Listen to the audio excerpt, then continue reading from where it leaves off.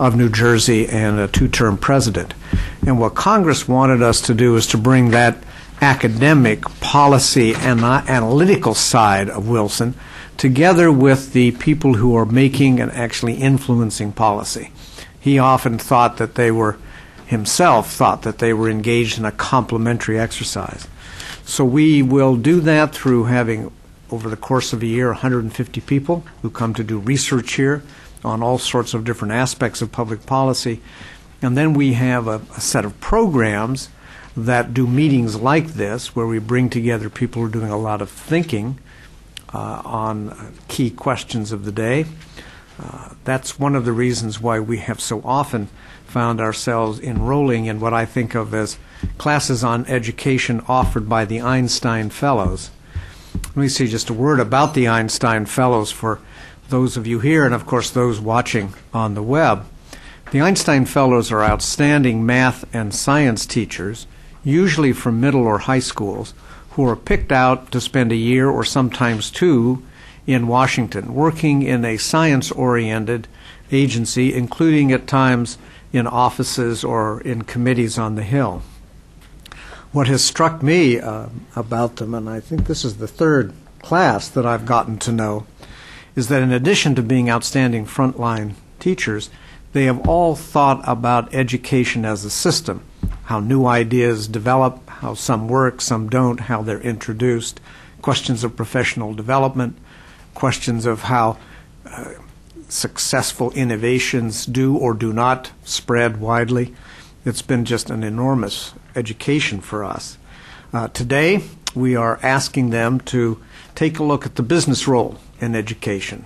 Some of you may have noticed that part of President Obama's overall push to educate to innovate has led to a new organization called Change the Equation, in which 100 CEOs have signed up to really make a push on education, including, of course, STEM education, which the latter being a particular priority of the president.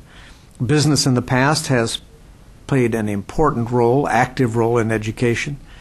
If you go back to uh, President H.W. Bush, George H.W. Bush, he held the third only ever summit with all the governors. Uh, Teddy Roosevelt did it first on conservation, Franklin Roosevelt on the Great Depression, and President Bush 41 did it on education.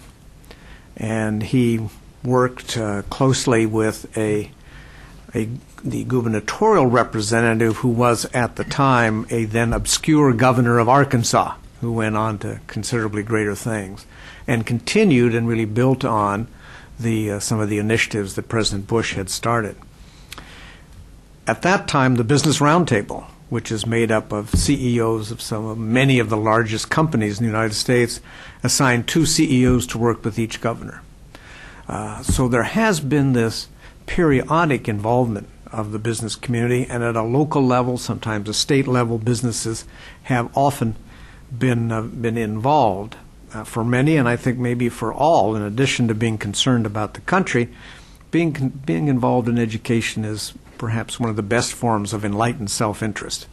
Uh, because the people here on the panel are really training the next generation of engineers, the next generation of technical workers, the next generation really of citizens who are going to help move the country forward.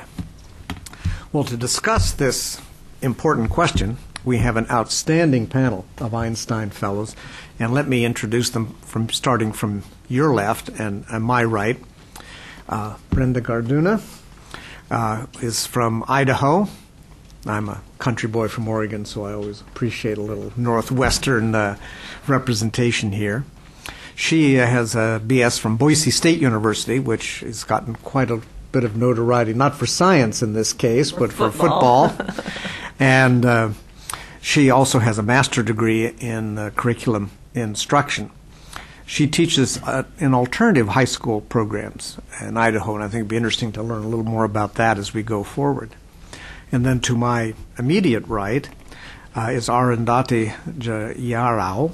Have I got that right? I always get the Arundhati okay. She has a BS in math, physics, and chemistry, uh, master's in physics.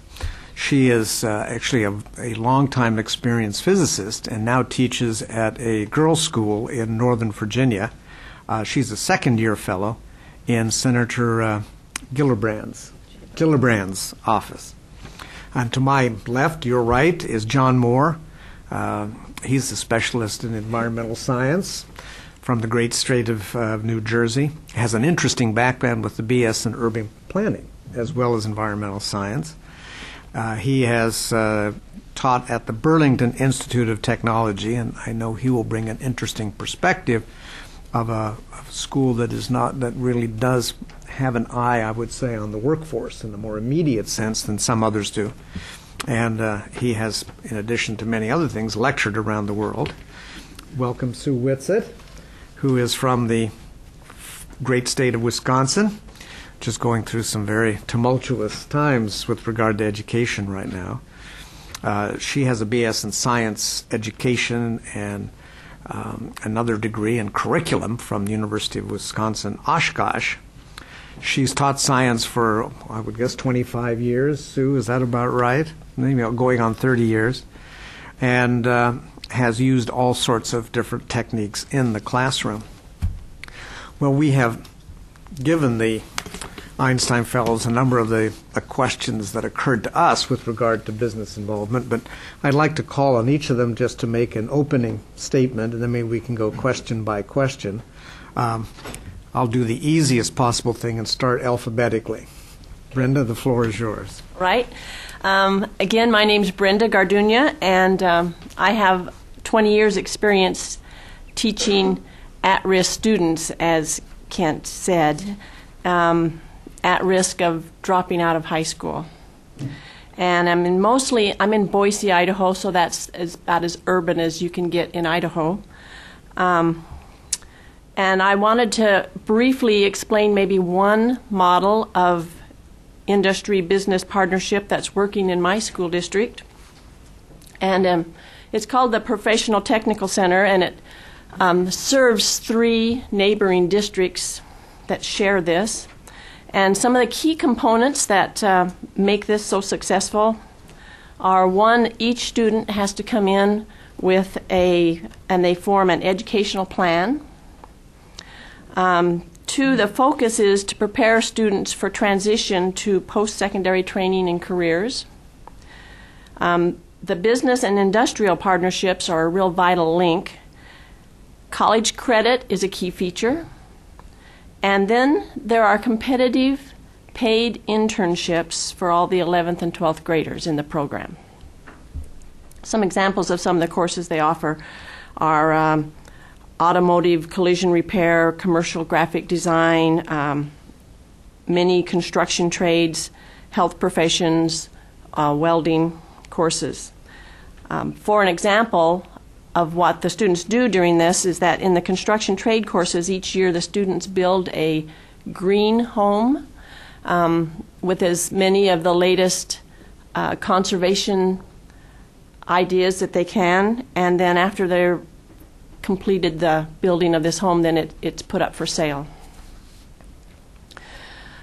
We must realize that not all students are going to go to an academic college but all students need an opportunity to for some type of post high school career training. So coming from a more rural western state, working with poverty and at-risk students, I'm hoping that I can bring maybe a slightly different perspective to this conversation. Um, the President's Council of Advisors on School and Tech, on, uh, Council of Advisors on Science and Technology, or the PCAST report, said that we needed to not only prepare students, but that we must also inspire students. And as a teacher, I try really hard to, ins- to prepare my students. But to inspire them, I need to reach outside of my classroom and enlist the help of my community. And I see that industry and business can be a very important part of that. Um, anytime you have a partnership, it needs to benefit both partners. And sometimes I think it has been in the past that they, it has been thought that a partnership with a business or an industry meant that they gave a lot of money and the schools benefited by receiving money. Um, but there's much more to that. In my way of thinking, that there are benefits to the school.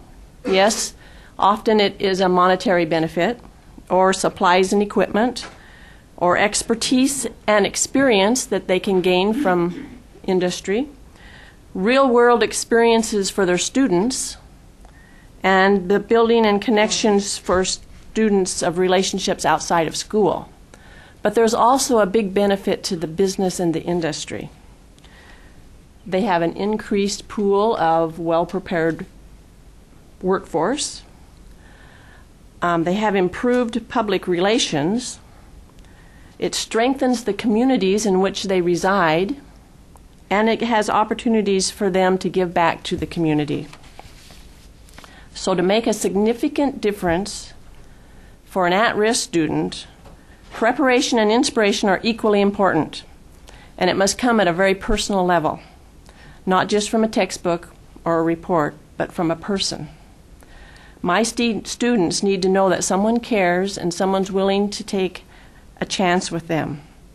We're not only trying to educate children, we're trying to change attitudes, we're giving hope, we're building dreams.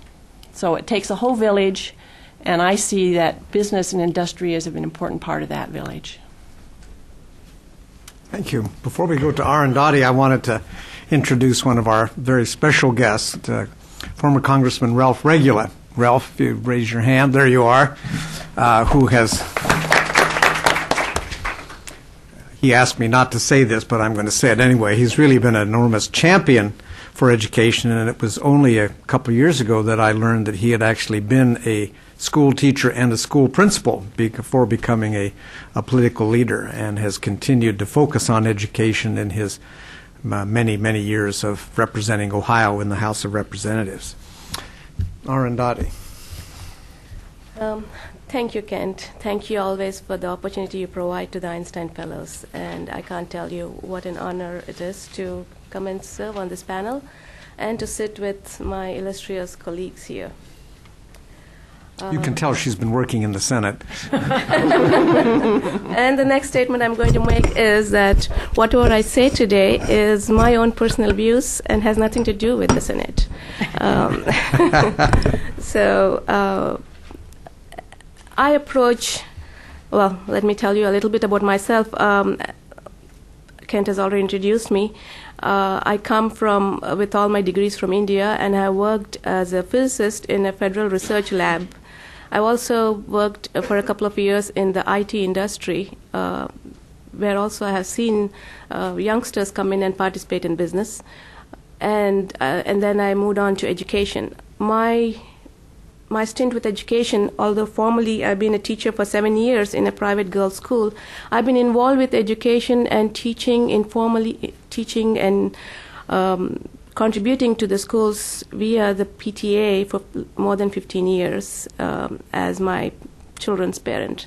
And a lot of my business with K 12 partnership experience comes with the perspective of the PTA and the role that the PTAs have to play in terms of building up these partnerships um, and the important role that they do play. And uh, I would also like to look at uh, the fact that I'm coming from Fairfax County Schools. I taught in a private school in Virginia, and Fairfax County Schools is the 12th largest school system with a budget totaling 2.2 billion, um, and um, it operates 230 facilities, over 25 million square feet of space, and more than 131,000 of our students ride more than 18.2 mile, million miles each year on 1,512 buses.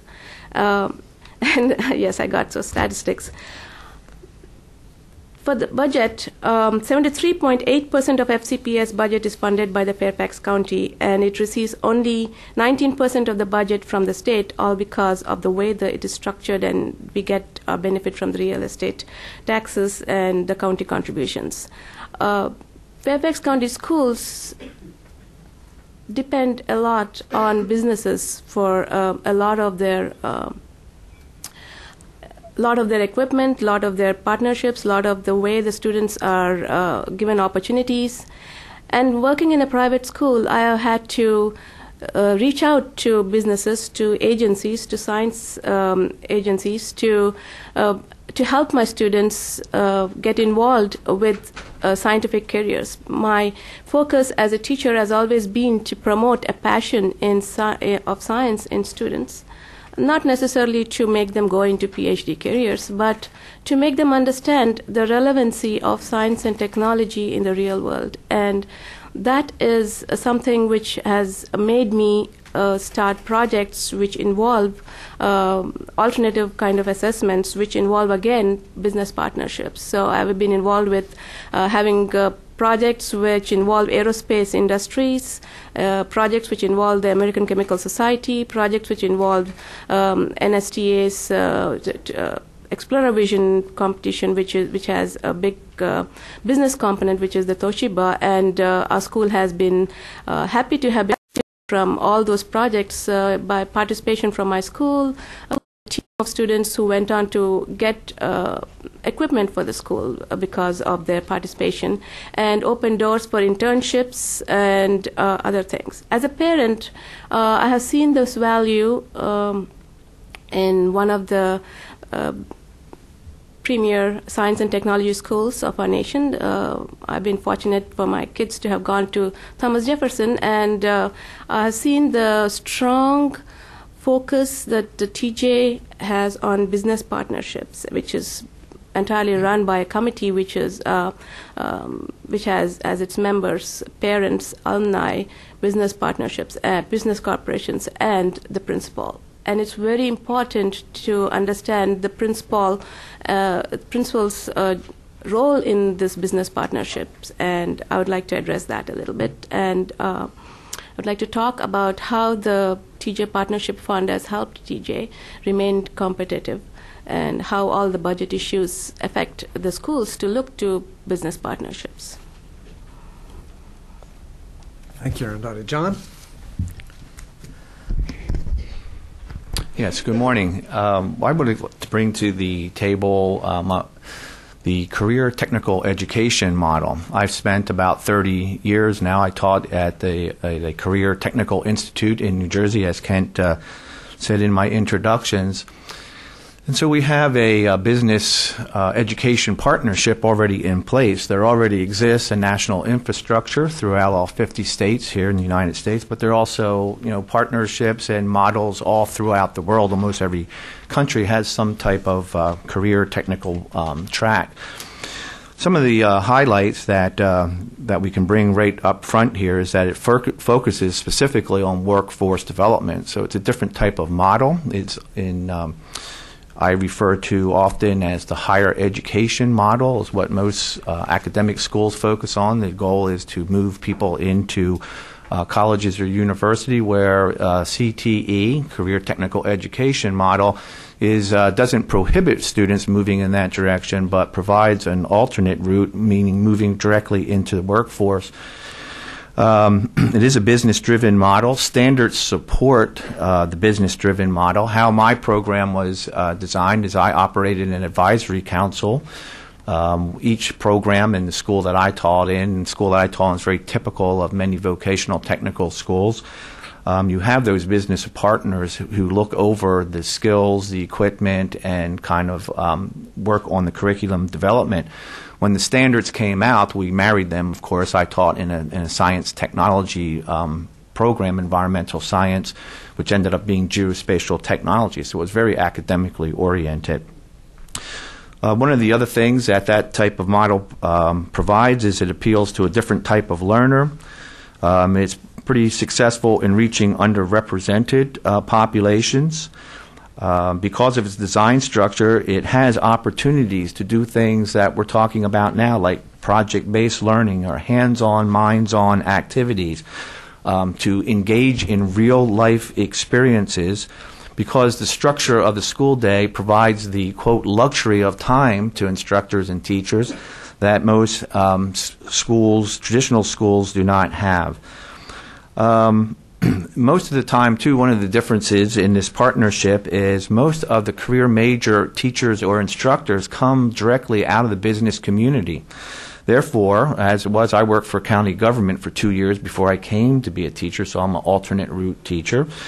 Uh, that we had direct experience in the field and also drag into the classroom all of our business contacts. So that kind of fits into um, you know creating this pipeline for students, so that uh, the students are not only provided with the skills and hands-on activities, but I was able to mentor people into the business community because I already knew what my colleagues from the business world were doing, and it's kind of a nice handshake or handoff in into those fields. So, just as an opening statement, I just want you to start thinking about that because there's a, a you know a lot more information that can be um, fleshed out from those from that framework.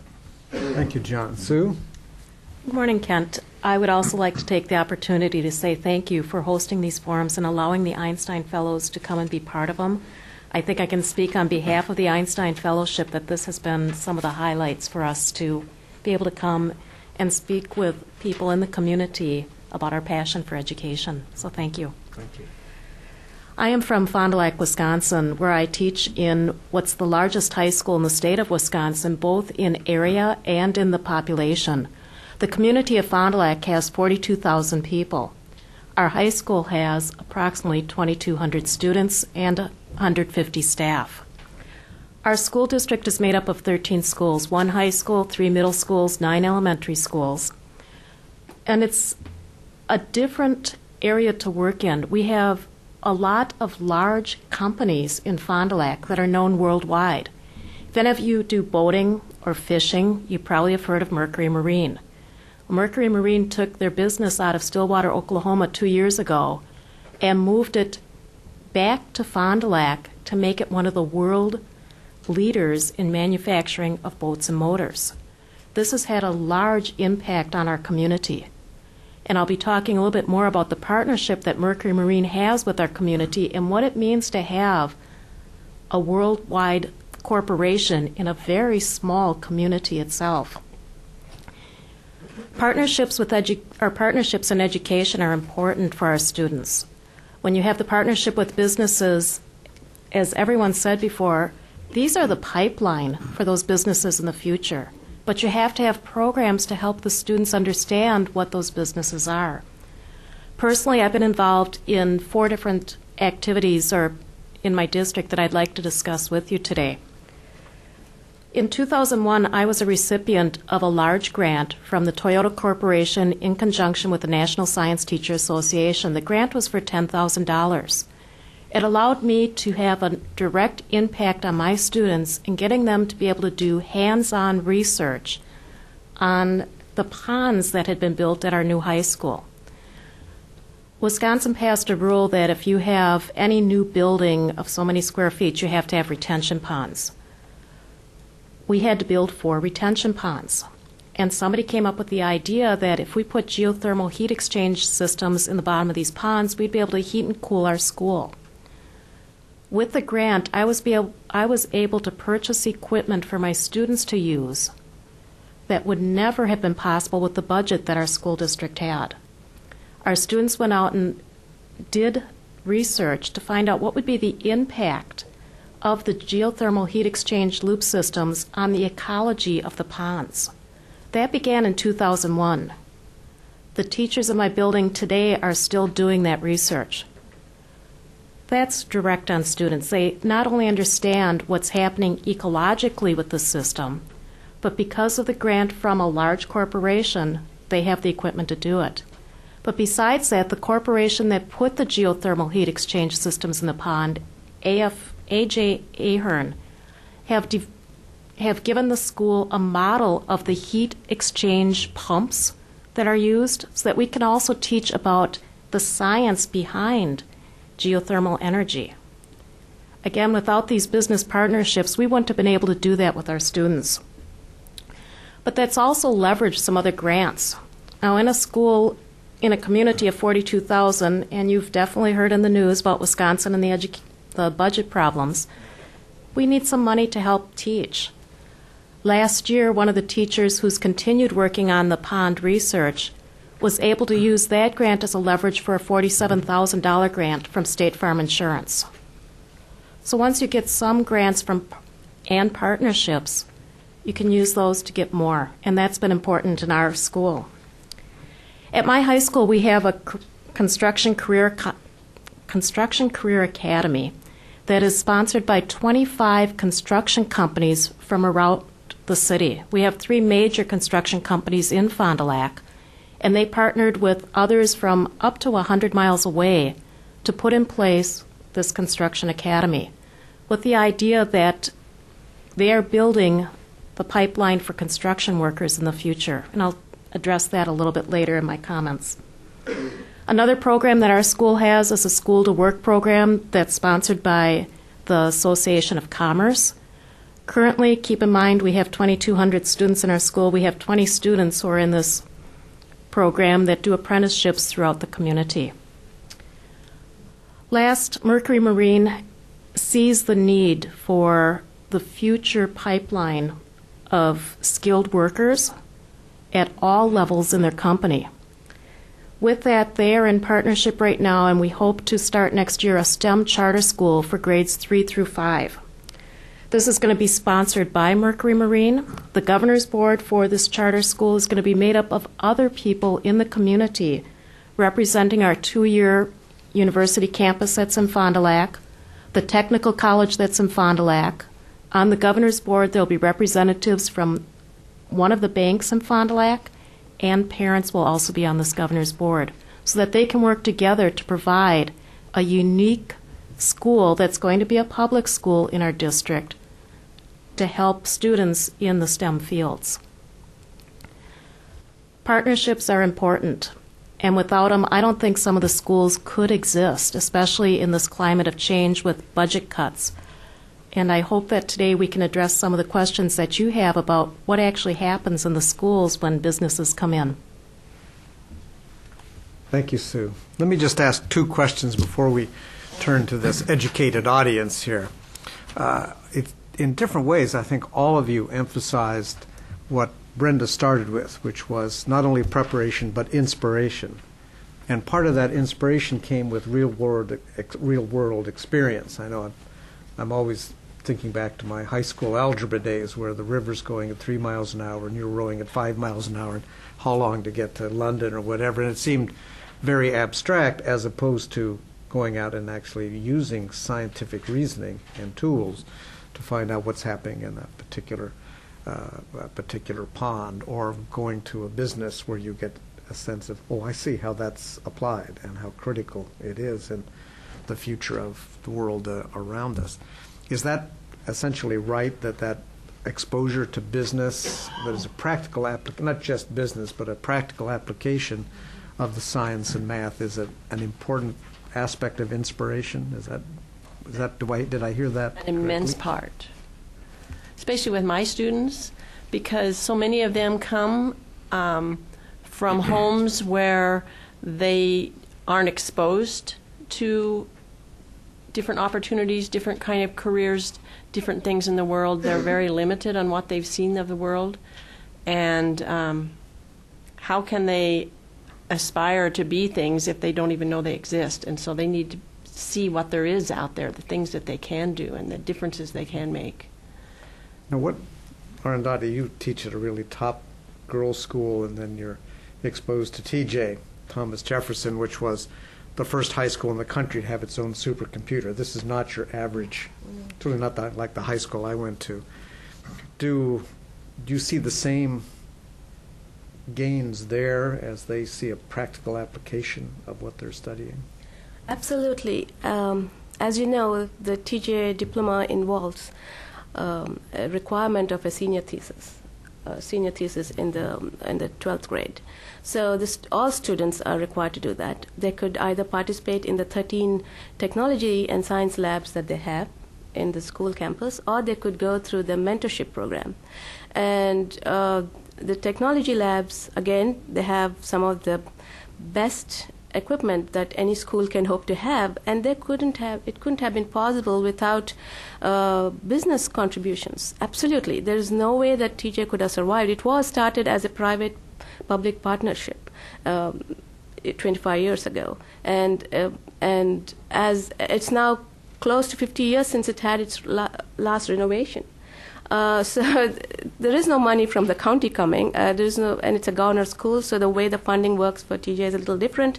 It has to depend a lot on businesses to be able to give the students the kind of uh, academic curriculum which it it wants to give and it is modeled to give. It's the mission of that school to give. So uh, it has. Um, I can read out a list of the par- business partnerships, but I definitely know that there's Lockheed Martin, Orbital Sciences, Aerospace Industries, um, and uh, um, uh, Northrop, Northrop Grumman, all these industries, and plus more. Uh, I don't have the entire list with me, but they have contributed to each of those labs, uh, particular equipment, and they make sure that the students are able to perform their senior res- uh, research thesis in those labs and uh, the mentorship opportunity which is op- offered to some students i mean it's it's one of those options that the students can take either a mentorship or do their senior thesis in their high school uh, itself uh, implies that the men- the students need to go to some places where businesses and agencies are open to inviting these students.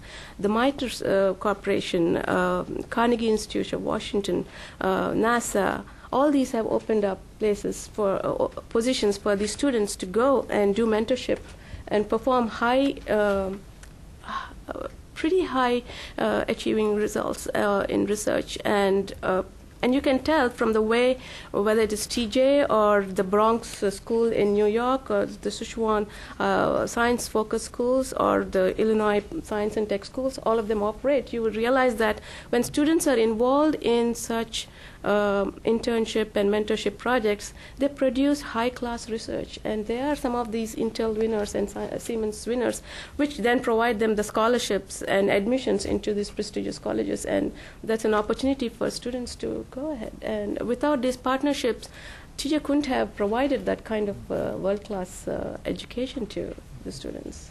John, your students usually aren't aspiring to go to MIT, the way you described, at least not initially do does that practical experience they get also spark their interest that it's not just a job but it's just something I could really enjoy doing that kind of gets me thinking about the job? Yeah uh, definitely. One of the uh, things that I think that um, career technical education answers the question that I think every student has asked throughout eternity is uh, why do I have to learn this? And anybody that's a teacher in the room I'm sure you've been asked that thousands of times um, that gives us a really good answer, other than, well, there's a test coming, you need it to get through the course, there's a state test coming, or you need it for college. When you're talking to a 13 or 14 year old entering as a freshman in high school, that is a little abstract to to the types of students that um, you know I engage with. So when you can point to business and you can go to those careers and say, well, it's you know, and it takes the heat off of you as a teacher because it's well, it's not me that's requiring this of you. You know, you go yourself, talk to these business people, and they will tell you what they expect if you want to go work for them. So they're entering the schools, they've chosen their careers, they've chosen their professions. My job then becomes to not only instruct them in the content, but the pathway of how you go into that profession. So just to give you a quick example, I taught a lot of the students came in, they want to be TV meteorologists. Well, that's a lofty goal. now remember, you're 14 years old. So I said, well, I'm not telling you you can't do that, but you know it's pretty st- you know tall hill to climb. But let's break that down and see what the pieces are. So I have the experience of working with TV broadcast meteorologists, so I can talk to them. I said, well, you don't have to believe me. You can go talk to her, and she will break down the pathway how she got that job. She's successful at it. And so then they understand that. So now they have two points of reference. They have me as their instructor, but they have a role model in the field. So then the choice is back in their hand.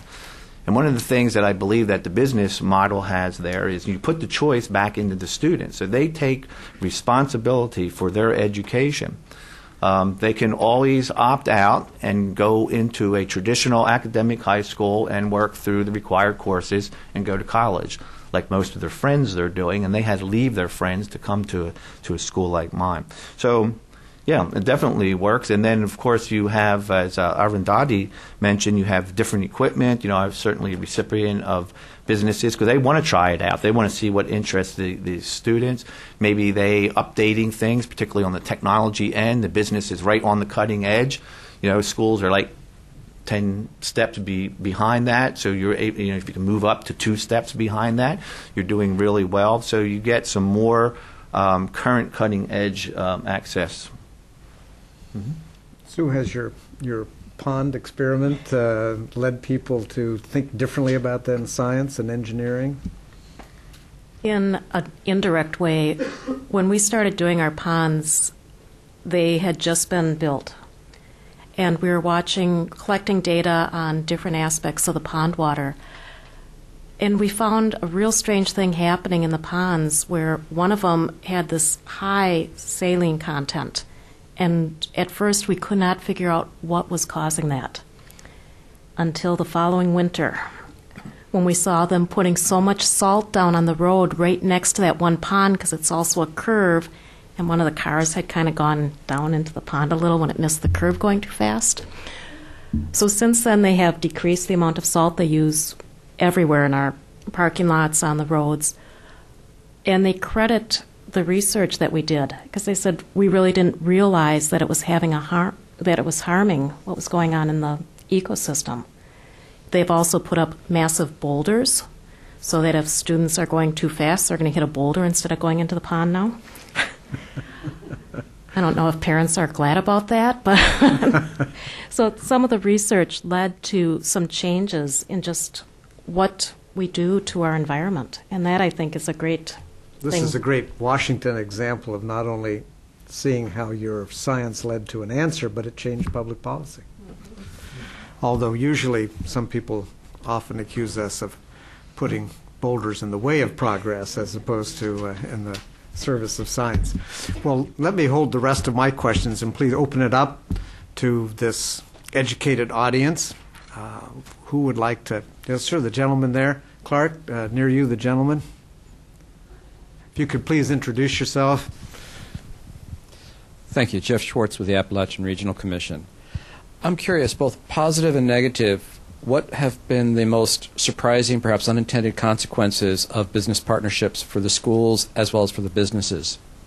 Things that you weren't expecting that did happen. I can start with one. Mercury Marine, as I said, is a large corporation, and they were trying to do some commercials. Our school was built in 2000, and it has a state of the art TV production studio. Mercury Marine asked if they could come and do the filming at our high school because they didn't have a production studio themselves. They used our students to help them put together the production, and it gave the students a chance to learn skills that they were going to eventually learn, but it was actually helping a major contributor in our community.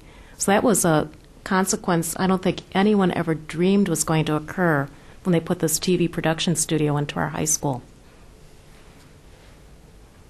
Anyone else on the panel with, about uh, anything business has done that looked good and then maybe had a negative impact, or that was just kind of a neutral initiative that had a surprisingly positive impact? I would like to just weigh in with um, some of the after school programs uh, which are conducted in um, a lot of high need schools.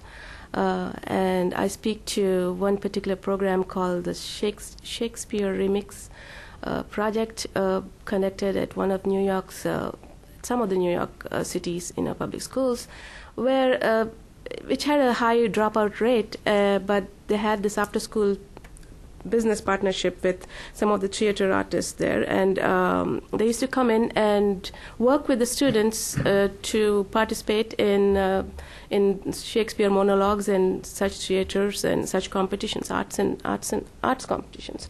But uh, once the students um, got interested in that and then realized that they see themselves down the road. They see some future for themselves. They see a career for themselves in the arts, uh, uh, in the arts industry, in the drama industry, in the theater industry. They realize that they did have to graduate. They had to get some courses. They need. They realized that they needed to go in certain directions uh, to um, to ensure that they reach and get their goals. In fact, one of the groups won the national award and came to the White House, met Michelle Obama, and uh, what could be more inspirational than that? Um, so these kind of partnerships are very vital in uh, revitalizing um, failing schools, in uh, helping student achievement, uh, especially in uh, low-income areas. So these are really beneficial partnerships in that sense. Well, Can I just add one, Sure, one quick John. thing? Um, I'll make it brief, but it's a negative that's a positive. And the business community has higher expectations for the students. So they have, they, you know, businesses, as you can imagine, operate in a, in a business corporate world, and that does not waver at all. They know what they need to survive. So they kind of indirectly impose that on our students. So as a teacher, that's a positive thing. But um, you know, the, the uh, negative for the students is it brings them brings them up to the business uh, community. So I just wanted to throw that in as kind of a double sided. Might be depends on your pers- what what side of the desk you're sitting on, whether it's a positive or a negative.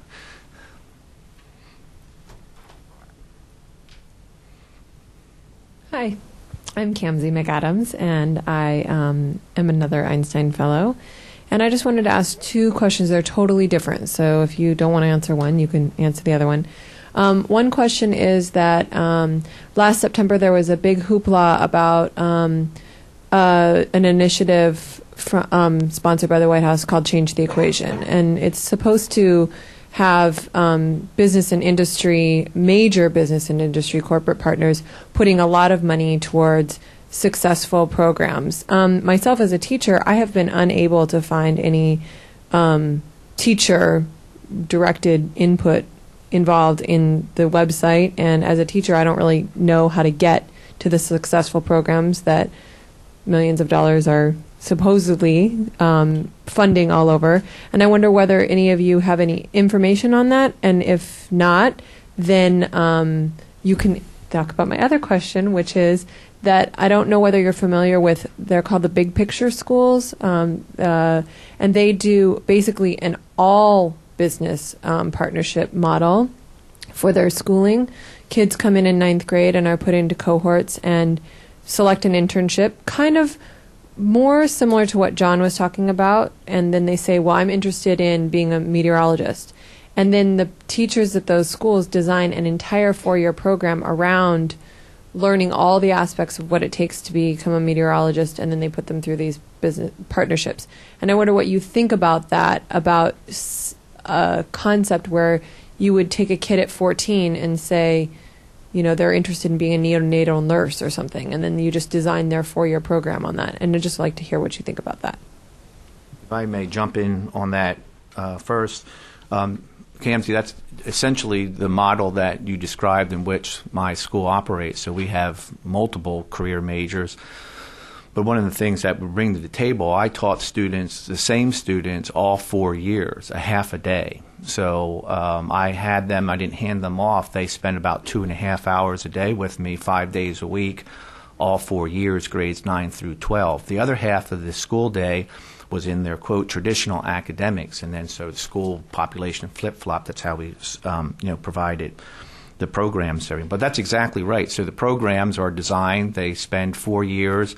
As I mentioned before, it operates with a with a with advisory council. To me, that was my responsibility as the instructor to meet with these people to get input because that was always you know where where the, the question that we had was not are they going to pass a test, but you know where are they going to be employed, or is this the correct path to to employment?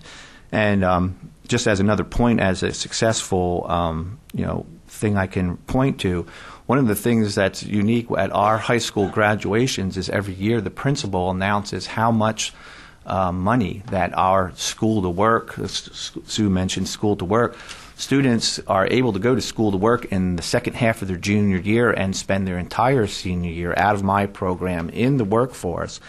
And so in, in our school, there might be, I'll just take a guess, there's 150 students uh, out on a program are earning, you know, over into the hundreds of thousands of dollars by the time they receive their diploma.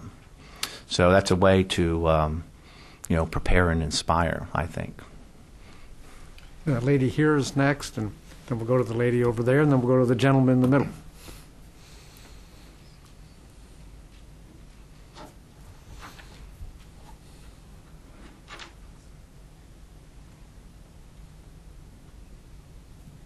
Good morning, everyone.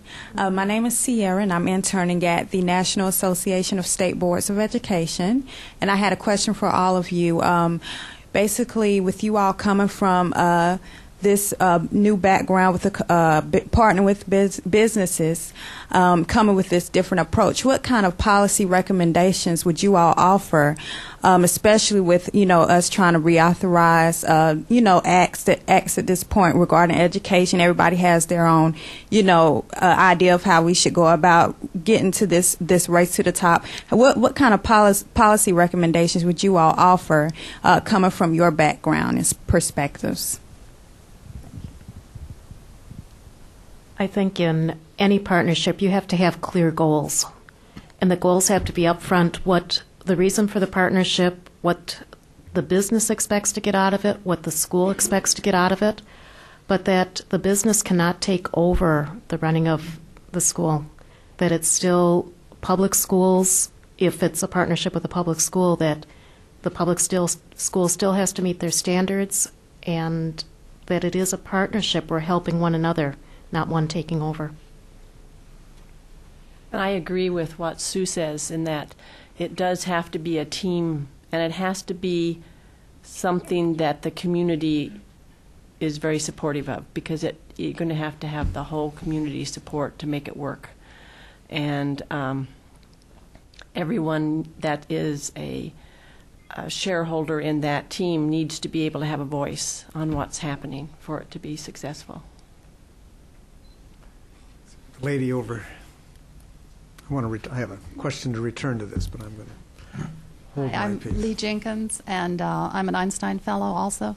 Um, and I teach in a very rural community in West Virginia. And my students did help write a grant. We did receive a State Farm Youth Advisory Board grant, uh, $41,000 grant to renovate a greenhouse on our campus. And that has been a great learning tool. But I'm wondering if you all can comment on how to attract business to rural communities where there's very little uh, industry um, and very few business partnerships. I would like to just address this in terms of uh, economic development in New York.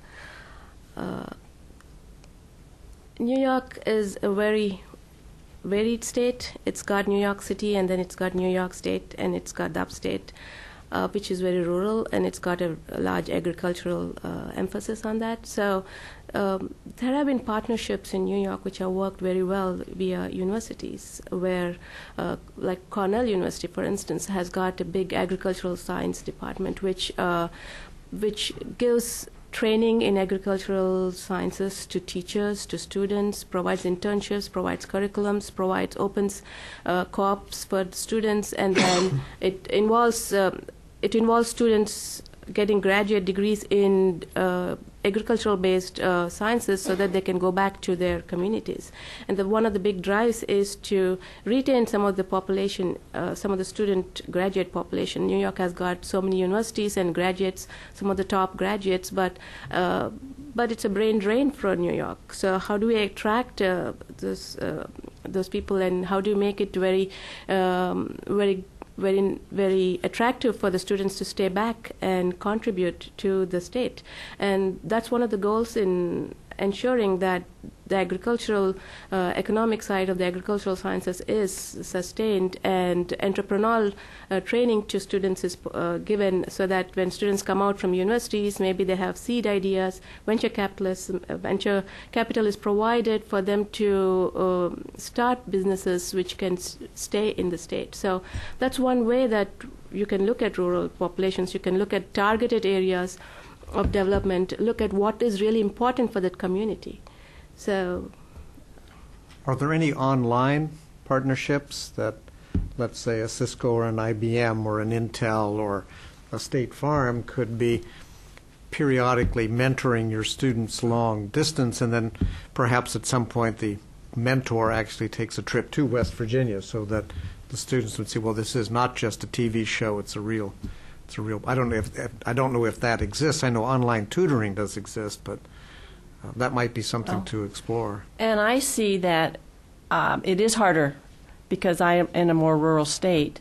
Also, that you have to have somebody first that has a dream and a vision and has to be willing to go out there and start it. And um, and then sometimes you have to go out past farther than what you would think. It can't be within just a few miles. Sometimes you have to reach out to a larger community to find someone. Um, but if you can share that that dream and that vision that you have and get them to also have that same, that sometimes that helps. I, I would add, Lee, too, that, that, you know, Sue mentioned it's a business education partnership.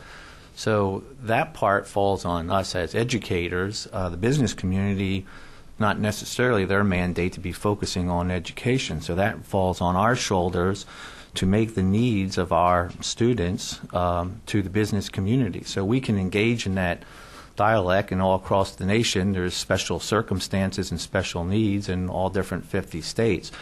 So the role I see us fitting in is making, you know, we have to extend our hand for the partnership take the first step, and then, you know, that's our job to make the business community aware of our needs and create that bridge of how working together we can satisfy, you know, both objectives from the, you know, business end and from the education end. The gentleman here in the middle, and then the lady at the back, and then the gentleman even further back, and the lady up in the front. Just remember all this. James Sang, IBM Research retired. Um, we have a very diverse group uh, going from uh, children at risk, students at risk, to um, Intel science uh, competition types. I have two questions. One, is there uh, any su- substantial difference in how um, schools relate to um, the different kinds of companies you work with, the local, small local automobile repair shop versus a MITRE or IBM Research? And second, a very, very detailed question. Um, when you have internships off campus, uh, do schools ever have problems with liability? I know when we, at IBM Research, when we tried bringing in high school students, we had terrible problems with the question of who carried liability if the kid got into an accident. Who would like to tackle that conundrum? Well, um, as far as the the liability partner question goes, I think that implies that there needs to be a deeper thought in the partnership which is being uh, promoted. So, for a for a successful business school partnership and for successful uh, a model which has internships involved, um, that needs to be specified. Partnerships will work when everything is put on the table and the school is very clear about its expectations and the, the head of the school is involved in the in the partnership and the teachers are on board the stud- and understand that that is something that they want for their curriculum and they uh, and the students are involved and the parents are involved so it is a community effort it's not just this one individual or one business doing it. The business has to understand where what the school's expectations are. The school has to understand what the limitation of the business is. So when you start drafting all those partnership documents, um, you need to have that right up on the top, and those things should be very spec- specific. So I think. Um, it seems like when you started it out, you didn't think through what what happens, who's supposed to support the liability. Sorry. We, were doing individual student at a time, so Yes.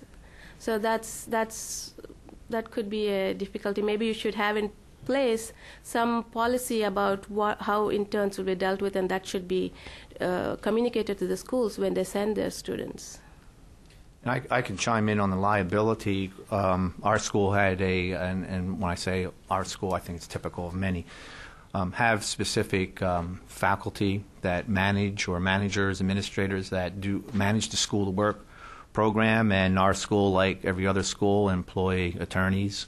So it's a very formal agreement. it actually uh, approaches a contract where both sides are negotiated. It's not just letting a kid loose to go to work for you, but it's a prescribed educational contract. So the bottom line is you're receiving the benefits of, of the labor, but um, you know you understand as the host or sponsor or employer of that student that the overarching goal is that this is an educational experience for the student that may lead to full-time employment. So it's just a, a contract like any other type of business agreement that we have.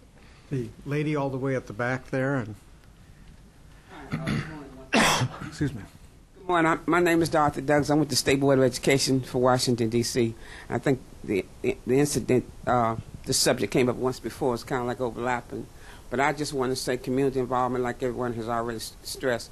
But I think also networking is so important in our, uh, the community, the family, the, even even the children's peers. That's important because all those services have to be wrapped around in order for everybody to be successful.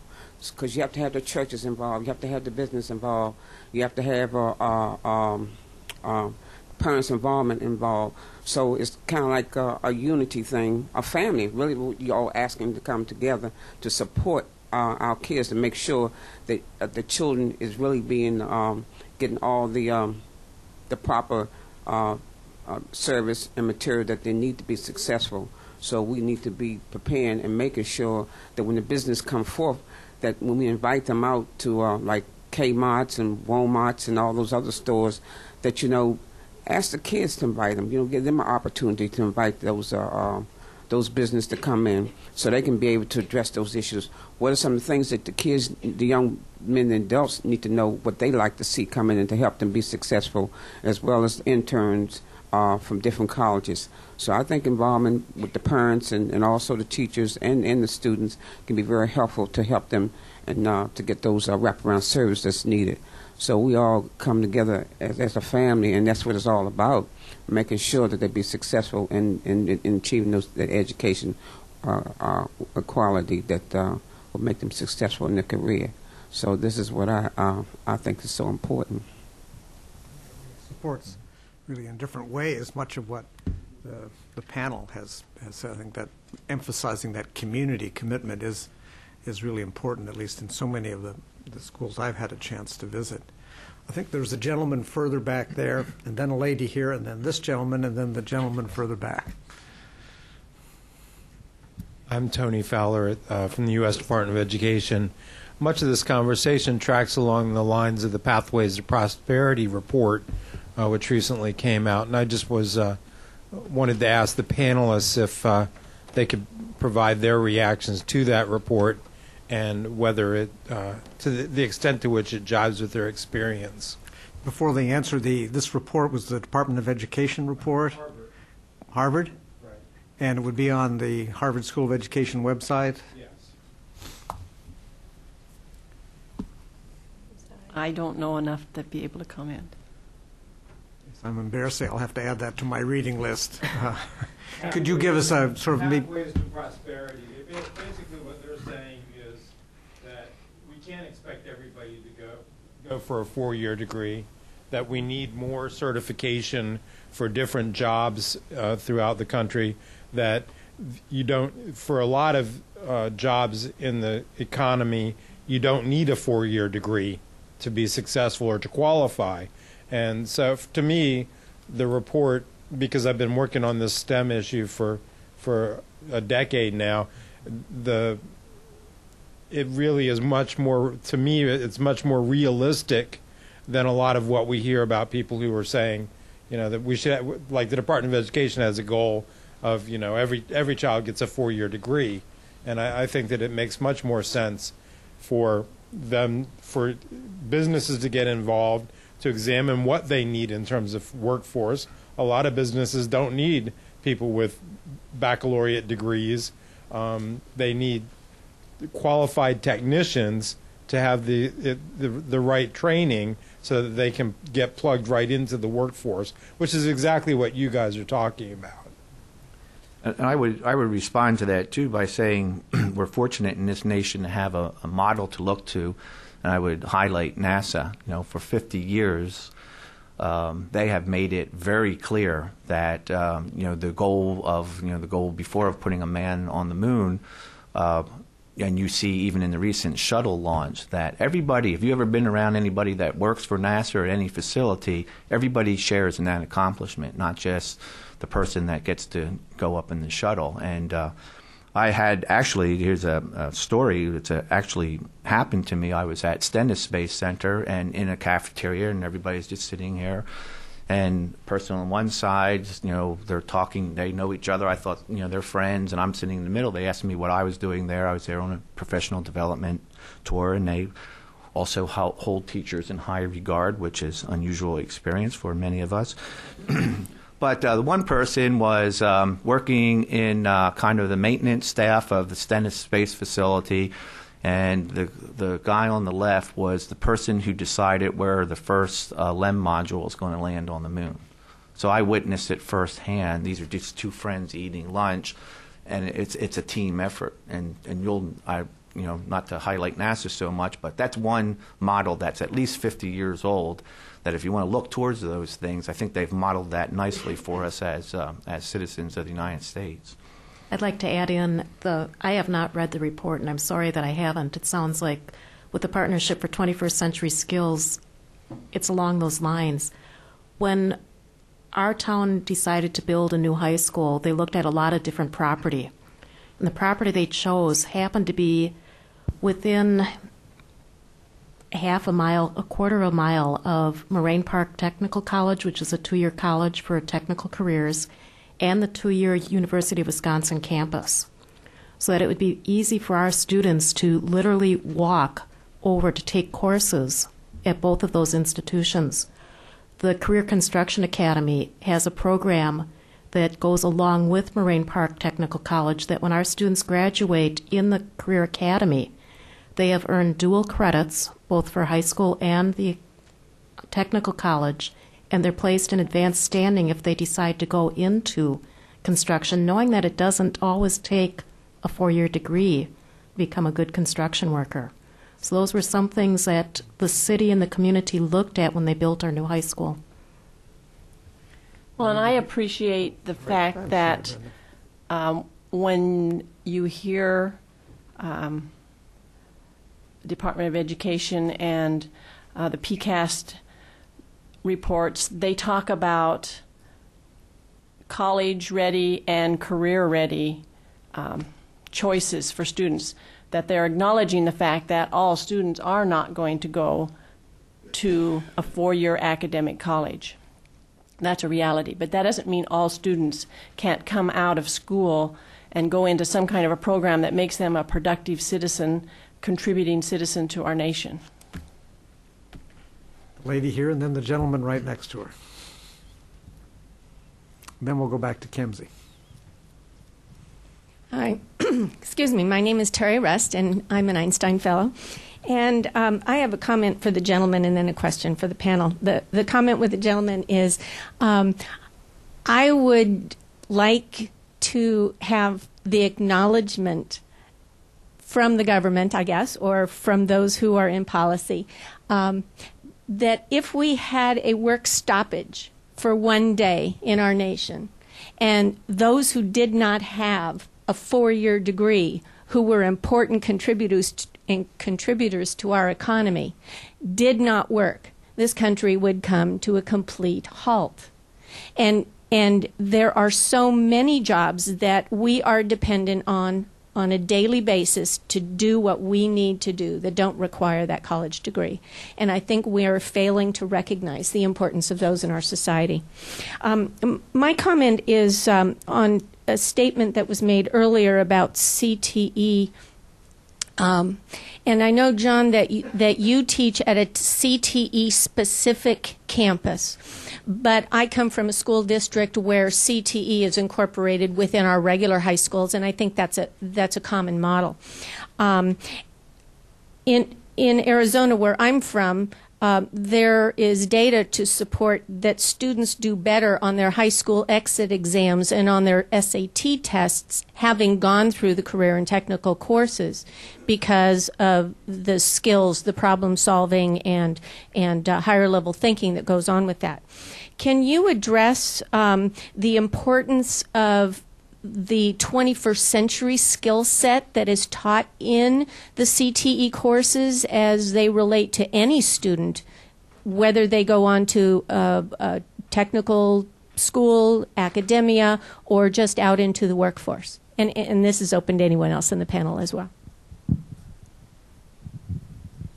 I can. I don't think it's limited just to career technical courses. I think the 21st century skills should be taught at all levels in every class that students are prepared once they leave the secondary schools for whatever field they go into.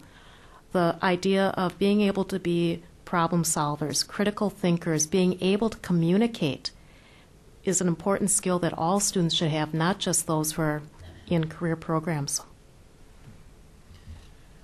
I had an, an experience in uh, Burlington County where I taught with the community college. Actually received an NSF grant, and there's a Lockheed uh, Martin um, large facility right in Burlington County.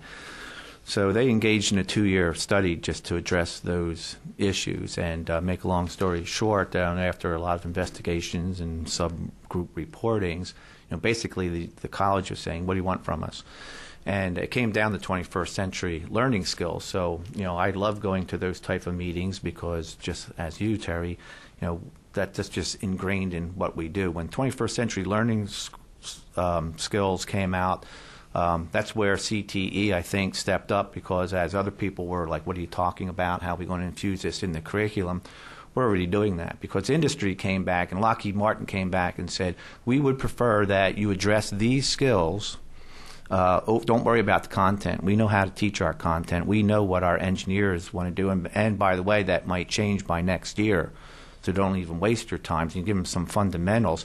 So you have to look at all those factors coming in, the you know the quickening pace of uh, technology. You know, by the time the kids get out of four years of high school, it already changed anyhow. So you have to kind of focus on the, the key concepts. But where you know, then you get into society issues. So they're looking for you know people to get along and not make fun of each other, be able to work in groups, you know, kind of move them out of the high school area where they're adolescents and transition them into how how you know what's acceptable behavior in the business community. That was Lockheed Martin's uh, biggest objection. So, um, yeah, I think that you know that that just. I think the the academic world is going to come. So I'll, I'll put a prediction out on the table right now. After all dust settles, I'll bet you the nation ends up with a CTE model. I'll be. I'll, I'll go out on the limb and say that. I, I just want to make one statement. I'm sorry. Did you? No, go ahead. Okay. Um, that first of all, the whole involvement of the business in ed- education was because the businesses have and have a product in mind. The reason that the businesses started investing so much in education, and this is not new, they have been doing it for the last 30 years. Um, after 10 after i think 20 25 years back was when the the uh, i think it was institute of competitive Co- competitive council or whatever I, I forget the exact name but it came out with the nation at risk report. And the nation at risk report underlined the fact that we have such a large uh, drop in graduation rates and that the graduates who are coming out are not uh, coming with the skills required for their workforce, and the businesses realize that it is really hurting their workforce development. So they needed stu- graduates who needed who had the skills that they were looking for, and we are in the 21st century. The businesses need 21st century skills. So the whole notion of the business involvement in the education came about because they're so keen on having a workforce available for them in their own country, and instead of importing from outside. So. I think that's important whether you talk about CTE or you talk about traditional schools or you talk about schools which develop, uh, give certificates and diplomas and academics, academic schools which allow students to go right into the job after, after the high school diplomas. I think it goes back again to where I'm working with at risk kids. These are kids who would be high school dropouts. And there's um, I can't tell you the exact numbers, but there's a large percentage of students that are still dropping out of high school. They're not even graduating from high school, let alone going on to careers and college. Um, that when communities and businesses and, universi- and universities also get involved with the education of students, yes, we do gain a better prepared workforce. We have students that are better uh, ready to go out into the work world, and that's what the businesses are gaining from that. But we also gain as the schools when they become involved and students are engaged, they stay in school. Our graduation rate from my school of having students that would probably been I won't say 100% dropouts because some of them may have somehow struggled and figured out how to do it. But we now have over 70% of those students graduating from high school. So that's 70% of however many students go through my school year, which is, I don't know, 700 probably. Um, kids that are ready now to look at doing something else in their lives. And so the, it's a full circle. Everybody wins when everybody gets involved and gets concerned about our students. And it's not just someone else's problem, it's our problem, and we can solve it together. Gentleman right here is next, and then back to Camsie.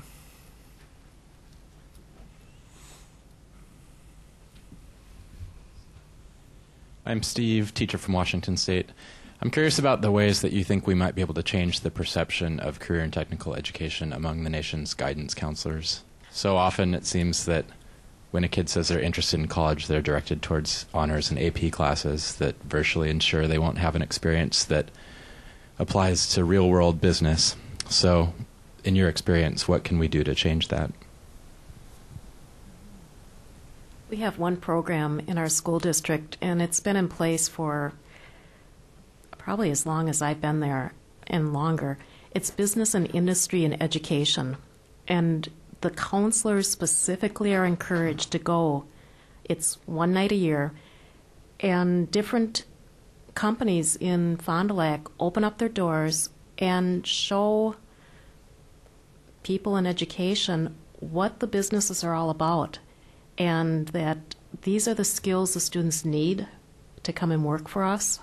And they try to get the message out loud and clear that you always don't need those AP classes, but they really do target the counselors to come to those programs.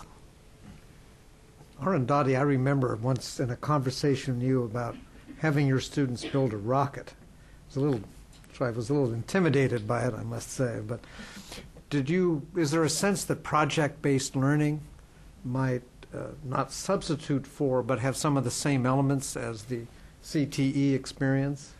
Uh, definitely. I think that I was just going to respond to Steve and say that uh, we don't really need a CTE kind of a course in place to tell them that it's important, but we need, in fact, the way I attract students into my physics courses is to offer them projects which will allow them to use skills, uh, build up their technical skills and uh, uh building skills and skills like uh, using AutoCAD, for instance, using uh, simulation model software to to produce a product which then they can go out and build. These are the skills that they can learn in high school.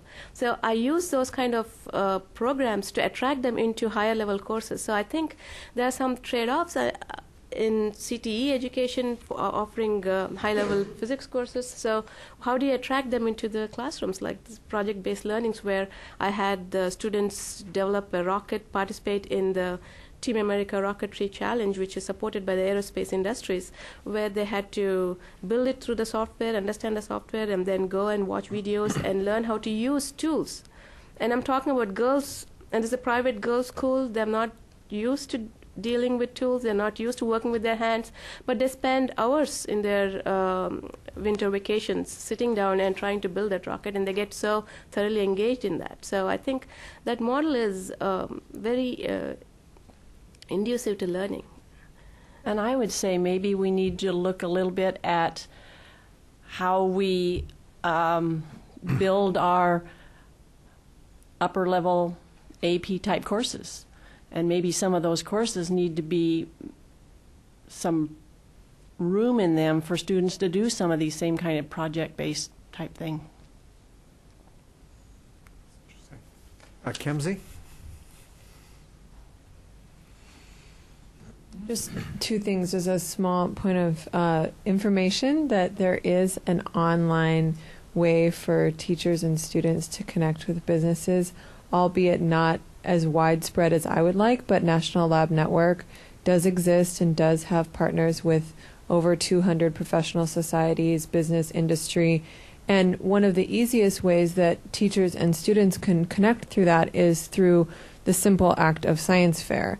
So, you know, you do a science fair project, you could really beef up that project by getting kids to partner with a local engineer or a local business um, and make the science fair project not be just you know growing radish seeds but really something that an, an industry or business would really be interested in and i would encourage anybody who's in the washington d.c area who's listening to this or who is paying attention to this on the web webcast that the dc science and engineering festival is short about 150 judges and they got a great business sponsorship through the Washington Wizards, and it's going to be held at the Verizon Center on April 1st.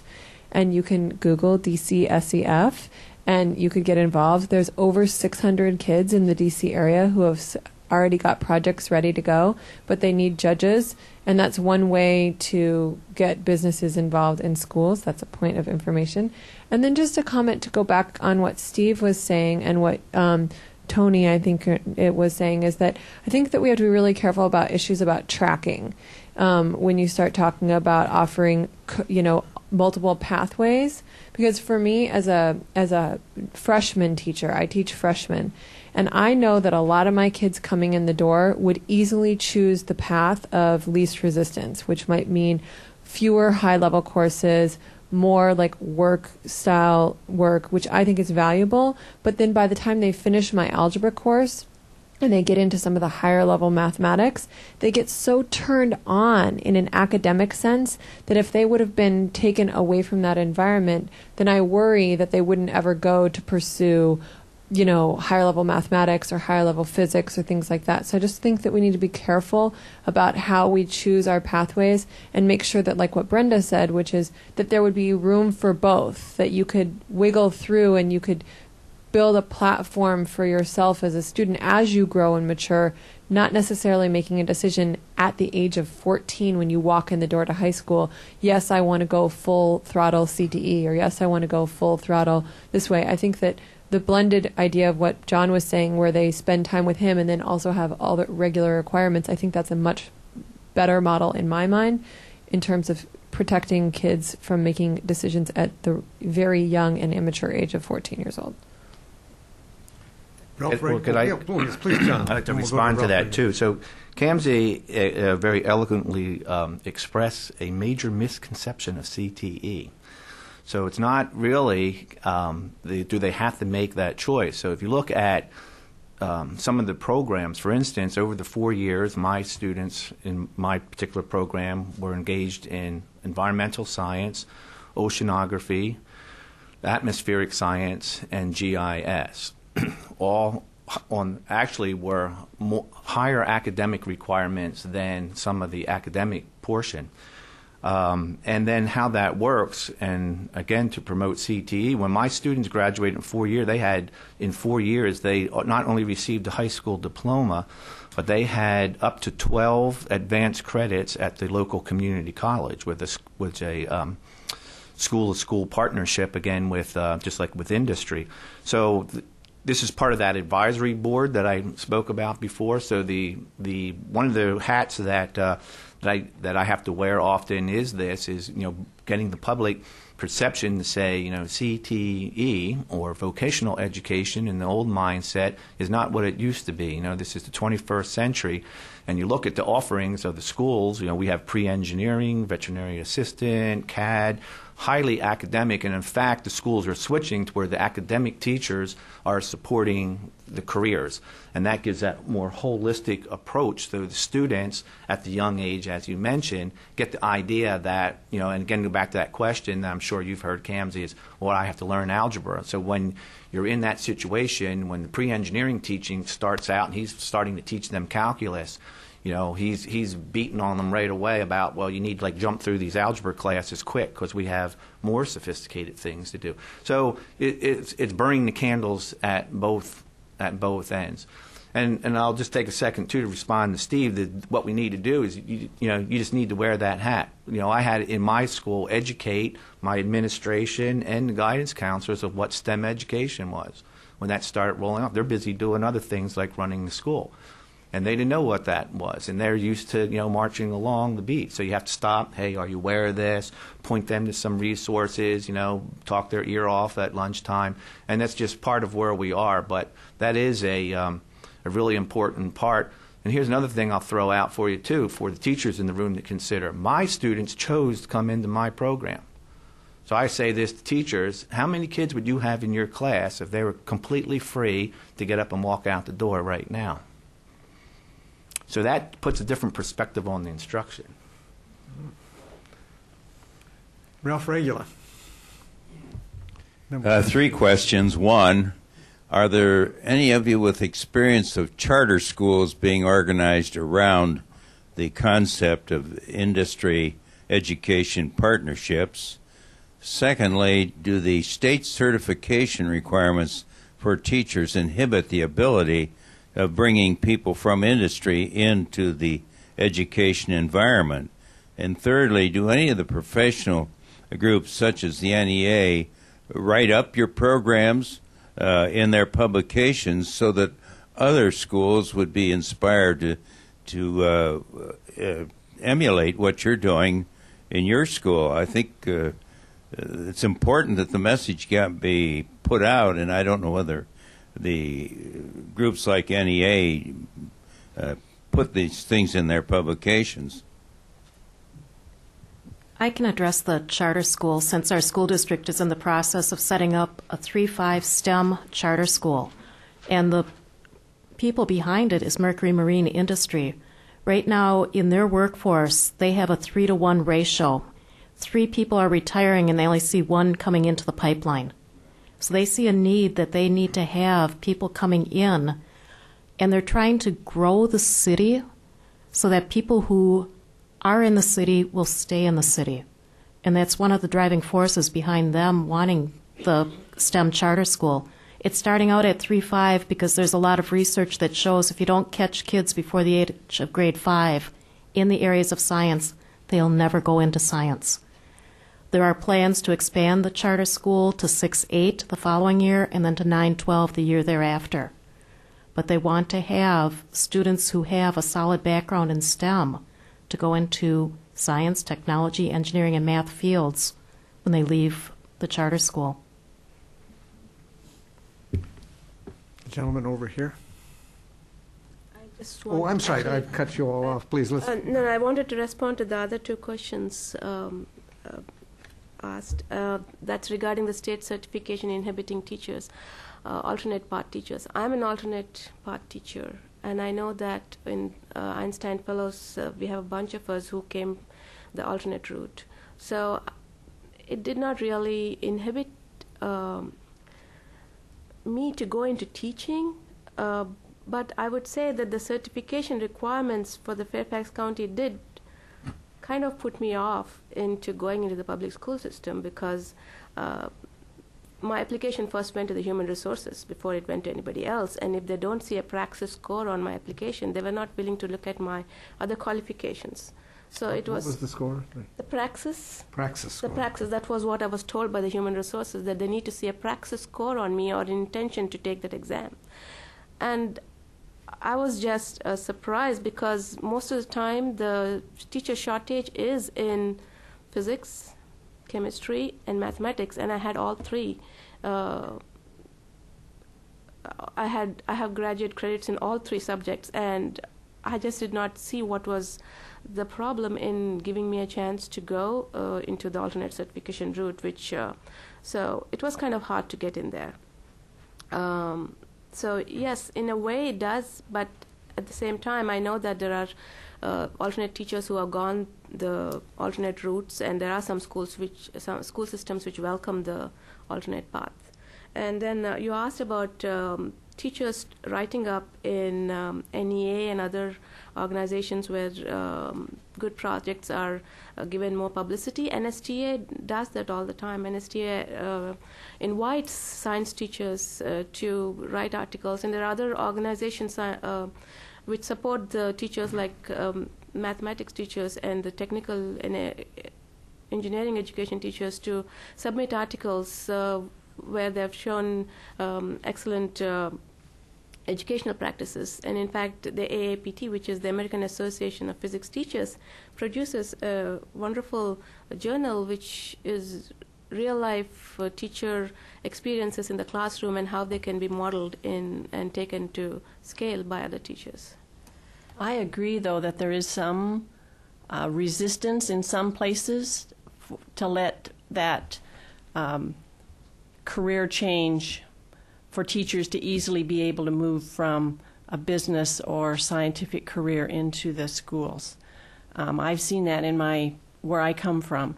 It's I think the mindset is changing as the need is getting greater for well qualified, well educated people, but it's um, there's been some resistance. Let's go to this gentleman over here. Hi, thank you. Uh, my name is Tom Bartlett, and I work at the Boeing Company. And there's been a lot of conversation about um, students going out into industry and bringing the academic environment um, out into, into industry. I'm curious about your thoughts on the role of industry coming into the schools, specifically through the form of mentors, tutors, um, or any kind of advisors towards student-based projects or learning-based projects, um, and just any comments you would have on that. Thank you. Um, I have here with me an article from Education Week, which actually talks about a Boeing Mesa partnership. Um, I'm sure you're aware of that. Did you arrange this? Uh, This is not and I, I'm going to read it out, some, some lines here. Um, and it says In the Boeing Mesa partnership, the company first helped the district set up a helicopter flight simulator in 1997, proposed and designed by retired Boeing engineers, and a fifth grade curriculum that, for six weeks, teaches science and math through aviation themes and pilot skills. The company built a second simulator in 2000, so all 4,000 fifth grade graders in the district could participate. And in 2005, uh, Boeing helped the district revamp a space simulation program for sixth graders by replacing an old parent built plywood space shuttle with a steel mock up, also designed by the retired engineers and equipped with wireless computers. The, compu- the company also paid for training teachers in how to use the craft effectively. The partners are now building a second shuttle simulator.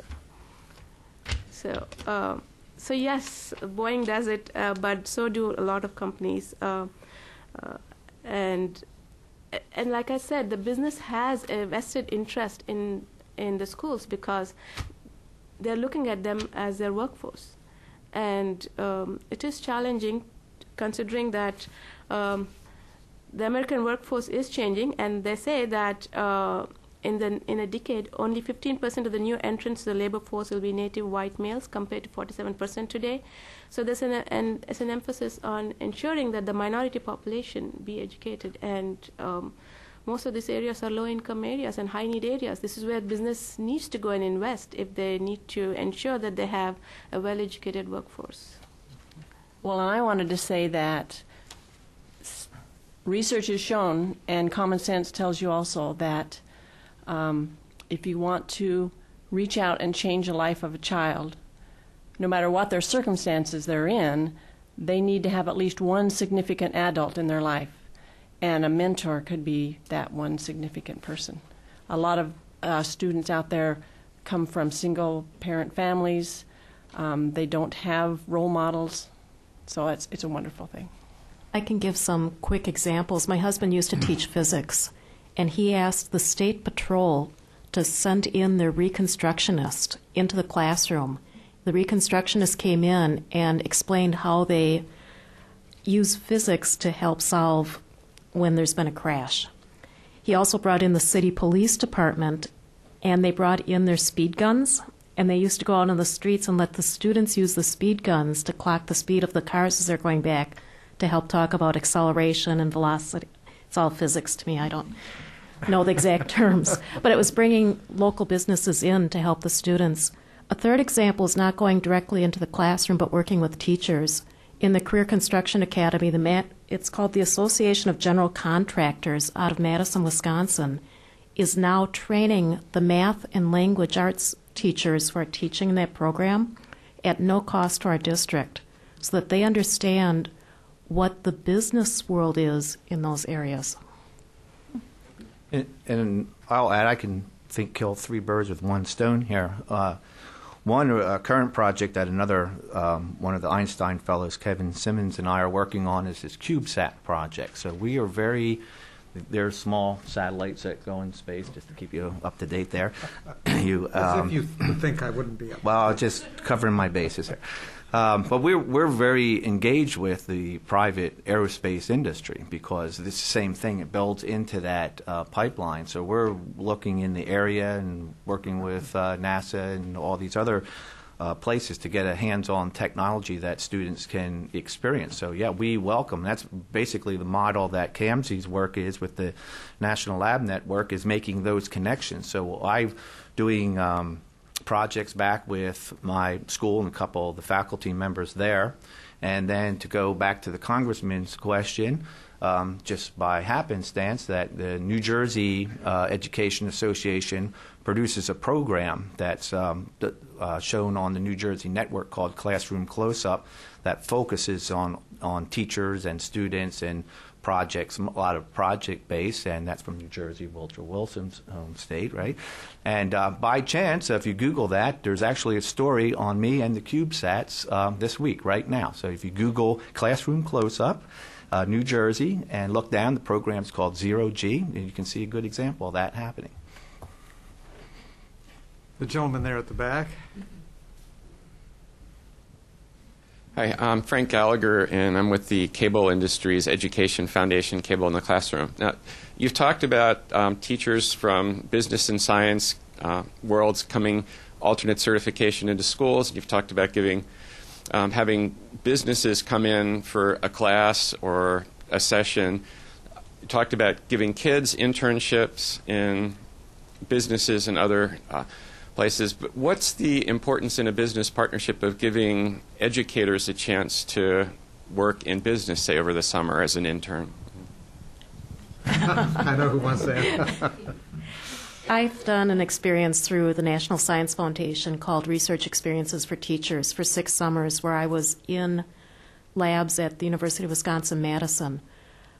Going in and learning the process of science is not something that we can do when we're going through our college coursework. You don't get to step into a lab and actually experience real research.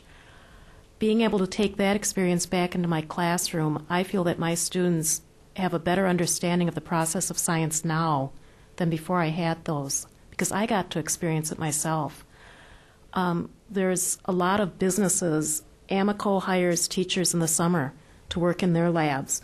DuPont brings teachers in during the summer to be research assistants to have those experiences, you can go back and then tell your students and maybe hopefully design activities to help them learn what's actually happening in those businesses, to get them excited, to inspire, and let them find out what's really happening.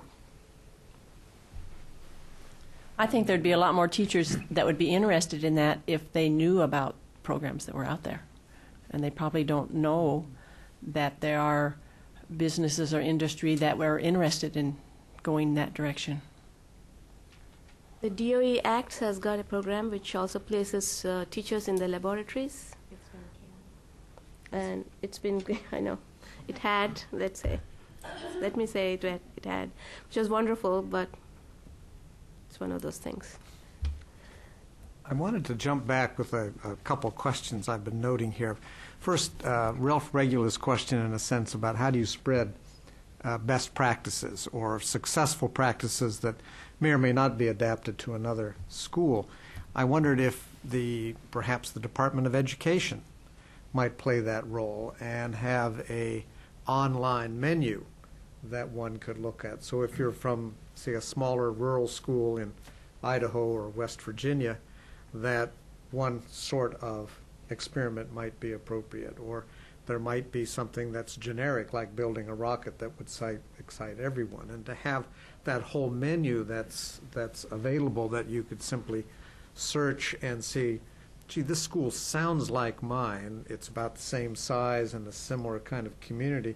I wonder if we couldn't try X, Y, or Z. And that would be a, uh, a fairly low cost thing, I think, for the, well, here I'm giving the Department of Education more work, but. a s- Above our pay grade. But, but But let's say if there were an amendment to the uh, ESEA or the No Child Left Behind law to uh, give the Department of, uh, of Education that opportunity.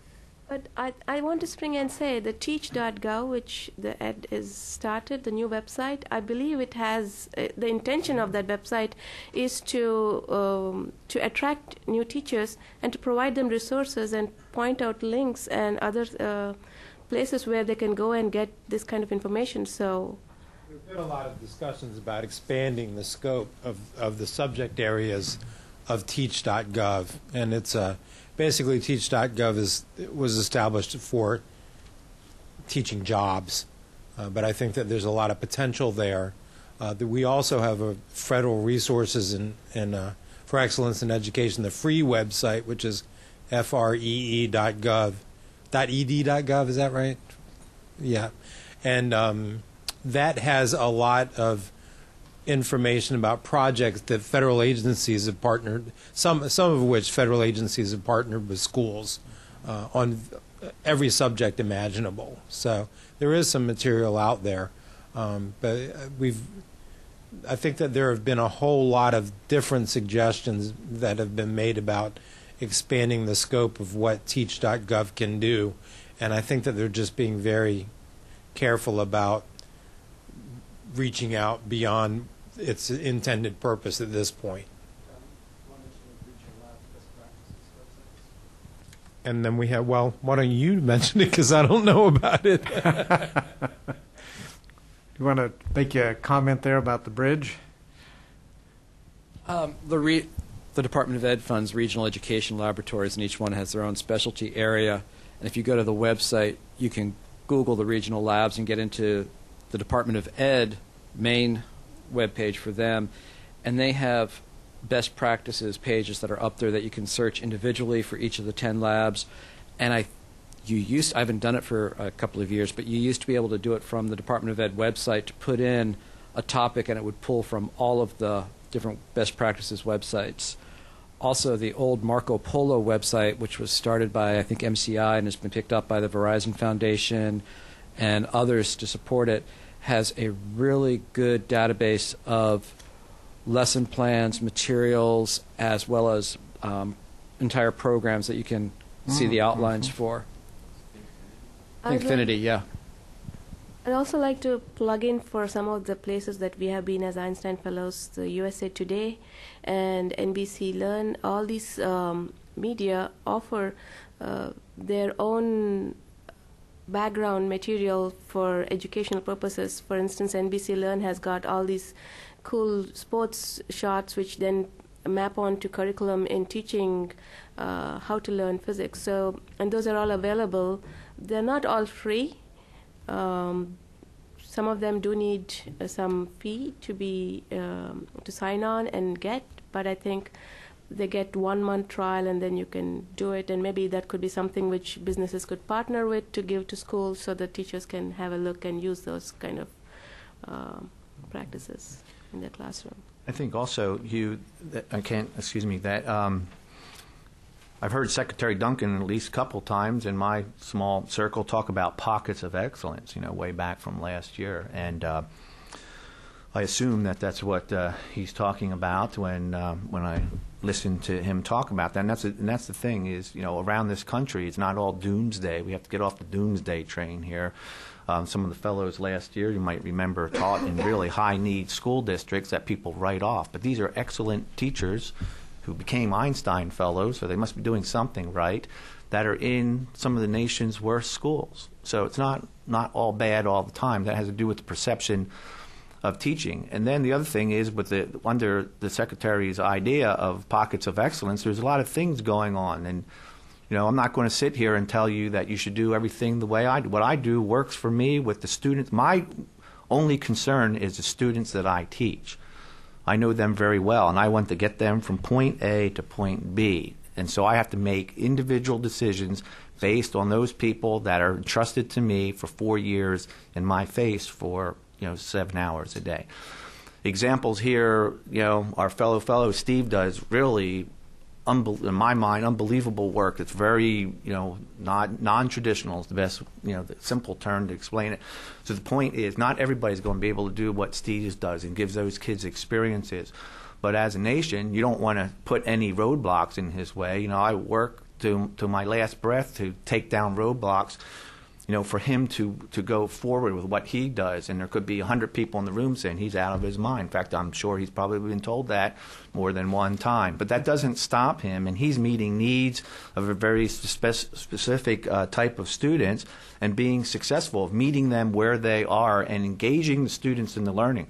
The one thing that you hardly ever hear around, and no matter where you're going talking about education, is has anybody ever talked to the kids? So you've talked to researchers, you've talked to policymakers, you talked to teachers, but even teachers, I challenge them. Have you ever spoken to the kids that you teach? Guess what? They'll they'll believe me. Um, they'll tell you what they think. It's not all negative. And somewhere way back in the in this program, they were you were talking about um, you know making choices and I always gave my students opportunity um, as we started as freshmen. I said, you know, here's what the school's expecting from you. Here's what business is going to expect from you. And here's what I'm going to expect from you. But that's just my point of view. I'll teach you on any three levels because I can do that. I can make the choice. And I always, just, this was always the test question. So, how do you want me to proceed from the first day of school? And in 29 years, every single freshman class that I had said, give it to us with both barrels. They don't want the easy way out. And these are not the MIT students. These are kids that are coming to school that may be first year, I mean, first people in their family that are going to go on to higher education. They're not even sure about it. The students are coming at age 14 with those goals, and the parents are working against that. The reason the parents are sending them out to that school is to get a career and go to work. They don't want to hear about this college nonsense.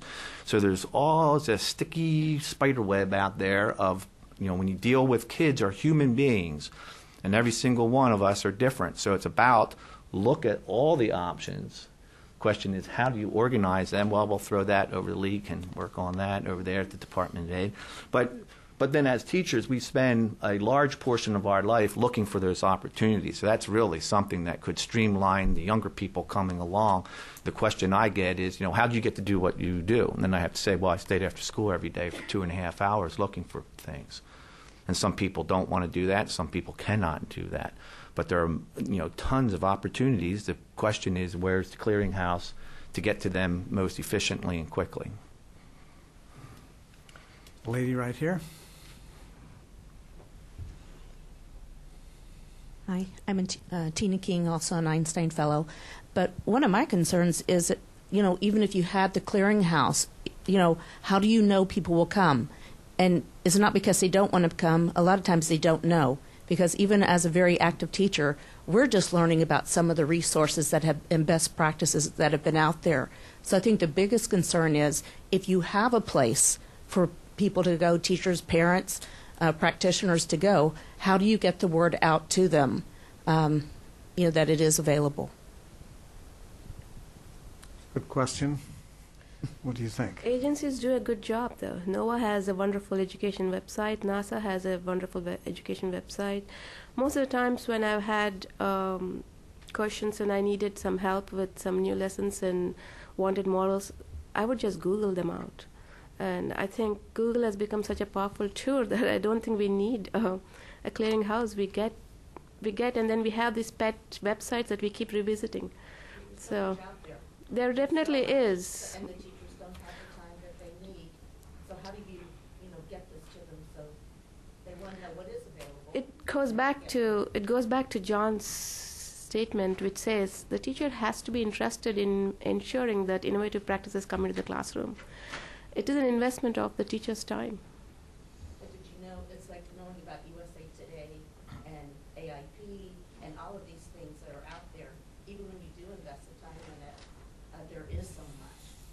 And I think it's a concern of a lot of them, and they keep asking us about it. How do you get this out? How do you disseminate this to where the teachers uh, know? And it, I think it is a concern with them on this. Could you have a, a one-page set of, of sites that, uh, there's so many national organizations in Washington, uh, from legislators to school superintendents to different professional societies, that there ought to be a way to online distribute this to every school. They print it out and put it in everybody's box, and then you've got it easily, uh, I don't know, this is, There's one problem with that, though. You need money to get it started.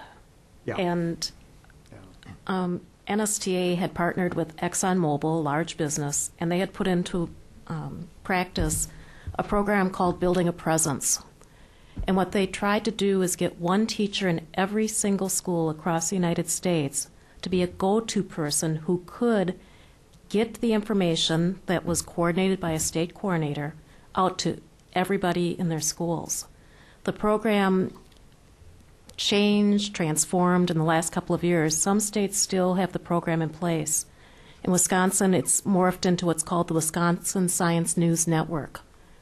And those people who were part of building a presence, and we have about 8,000 teachers online, every week get a newsletter by the state coordinator that just has six things to let us know about some of the partnerships going on in the state, some of the businesses, what Promega is doing for teachers in the summer. But it's just this little news. But it had to take money to get that started. And right now it's being done without any funding. well, we're really very close to our, our witching hour. Maybe there's one very last question over there. I'm going to have a couple announcements. Thank you. My name is Monica Bibbs Taylor. I'm from DC Public Schools, curriculum specialist. Um, and hearing all the discussion, I would like your take, the panel guest, on the Common Core standards. Um, in particular, those standards that are addressing the STEM issue and the integrated in the traditional pathways. Do you feel that those pathways will assist with preparation for career readiness since they were devised also for college? But I would like your take on that. Is um, those states that adopted it, are we going in the right direction? I'd like to go back to my Nation at Risk report. 30 years back, the whole reason why business started investing in education was because they felt that they were getting a product which was not made to their prescription. And they realized that, in spite of their investing money, etc., in the schools, they were not really coming up. And they then started the movement for ensuring some kind of standards. And um, one of the big uh, non-profit education organizations is Achieve, um, which has got a lot of subsequent uh, non-profit organizations which also talk about uh, ensuring that there is some kind of standards uh, and it is non-governmental and it is participatory by states uh, voluntary participation. So uh, so I think uh, the businesses do understand the need for standards and uh, again some of those things do drive the businesses to invest in education Well, we've really almost reached our witching hour, and I just wanted to make uh, a couple announcements. Uh, first of all, on your way out, you will see two publications, one of which is about the 20th anniversary conference celebrating the Einstein Fellows and what they've done over the 20 years. And it includes a very, I thought, thought provoking discussion of what might be done on education going forward. And it includes a set of specific recommendations that the Einstein Fellows then used in their visits up on Capitol Hill. Uh, the second is this afternoon, for those of you who all here with that passion for education, we're doing a book discussion on a book called The New Cool. And the author has tracked a first robotics team, which is very much another example of project, potentially project based learning. Track the team from the day it gets the announcement about the game the robot's going to play and the kit of parts and how they design it. And it does capture the excitement of the students and really how it affects their thinking about their own future. Uh, it is a team that does get to the championship and almost makes it to the very final stage. And uh, Arundhati will be pleased to know that the, the teacher mentor, who is such a driving force, is a physics teacher. So Uh, the uh, the final thing I would just uh, like to say is to, to thank you very much for coming. Thank Ralph Regula for joining us this morning, and would you please join me in a round of applause for an outstanding panel.